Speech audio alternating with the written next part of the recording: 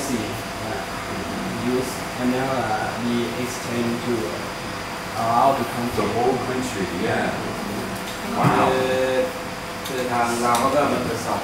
Wow.